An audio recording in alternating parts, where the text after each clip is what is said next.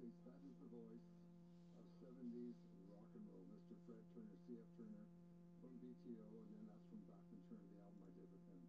Now we're going to go to a guy from Toronto who I've done many songwriting showcases with. He's a great songwriter, and he really is a smooth crooner in a way. Here he is doing the Frank Sinatra song, Fly Me to the Moon, and the weird thing about Fly Me to the Moon is it used to be called In Other Words. Because somewhere in the song they would say, In other words, take my hand, and then after a couple more verses they go, In other words, so it was called In Other Words. The only time they say Fly Me to the Moon is the first line of the song. And then it became called Fly Me to the Moon. They, they couldn't, what song is that? In other words, what song do you mean? Oh, do you mean Fly Me to the Moon? Yeah. Okay, let's call it Fly Me to the Moon. So it was renamed Fly Me to the Moon. Here's the great Matt Dusk from Toronto doing Fly Me to the Moon.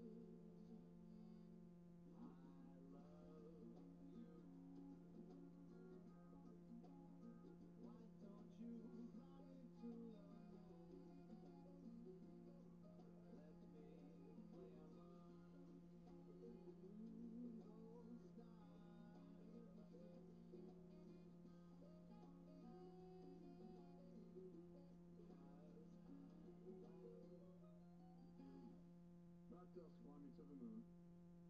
We are going to stay in Canada for a really cool, super cool lady. Her name is Feist, Leslie Feist. She used to be in a band in Toronto the Broken Social Scene where there was like eight people on stage or 12 or 14. They just came and left.